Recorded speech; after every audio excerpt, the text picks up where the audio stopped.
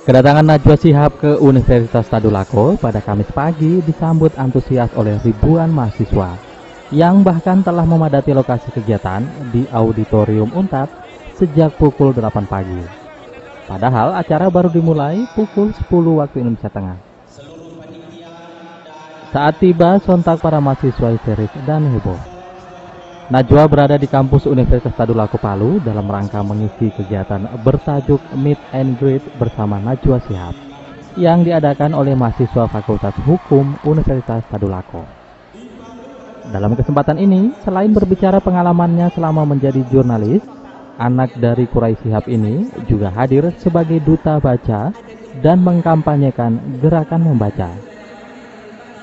Membaca menurut Najwa merupakan hal yang penting apalagi untuk para mahasiswa. Olehnya membaca menurutnya harus menjadi kebiasaan. Salah satunya adalah dengan memilih buku yang disukai dan selalu meluangkan waktu minimal 25 menit sehari untuk membaca sebuah buku.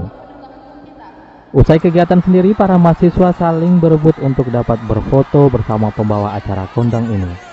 Bahkan suasana nyaris tak terkendali saat para mahasiswa naik ke atas panggung. Beruntung panitia dan keamanan kampus berhasil kembali mengendalikan keadaan. Jadi memang alhamdulillah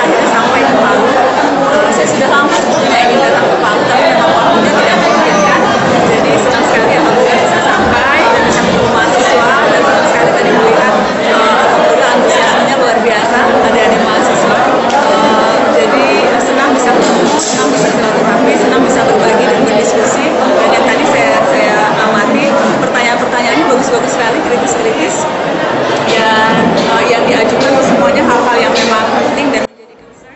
Darmawan Radar TV Palu,